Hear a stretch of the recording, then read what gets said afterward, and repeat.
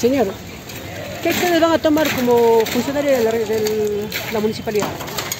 Eh, bueno, se va a revocar eh, todo lo que han realizado, porque como usted puede ver que la transitabilidad peatonal y discapacitados ha sido alterado. ¿no? Día se está tomando el área correspondiente de las faltas e infracciones que ha cometido eh, el Centro Comercial Trujillo. Asimismo también eh, se va a disponer el, el, retiro de esta rampa que ellos han ejecutado. ¿Han constatado si tiene autorización?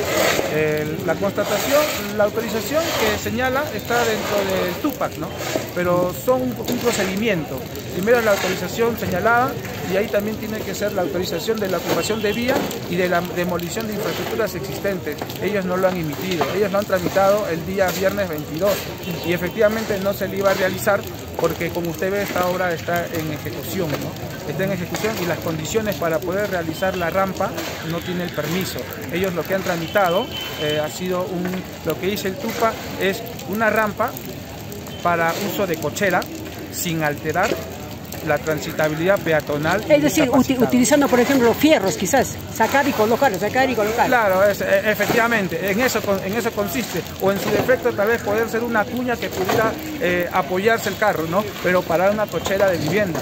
O sea, no es esto, es, esto de acá es totalmente ilegal, ilegal totalmente ilegal. Ilegal, como usted puede ver, esto no es una cochera, seguidamente este es un negocio. Por ese lado vemos una tienda, ¿no? Y entonces, y por un lado, y por otro lado, como usted puede ver, mira, hay un, hay un desvío de 20 centímetros. Acá no va a pasar eh, una silla de ruedas, ¿no? Entonces, lo que he realizado los señores es totalmente ilegal y acá están las autoridades correspondientes para que pueda eh, remover ya todo este piso. Correcto, va a haber sanción entonces. Sí, Primero una multa, sanción y esto definitivamente no va. Eso no va, eso ya está claro, eso estamos bien claros. Ya también ya se ha hecho la denuncia ante el Ministerio Público para la denuncia de reparaciones civiles y, le, y judiciales de corresponder, ¿no? penales de corresponder. Gracias.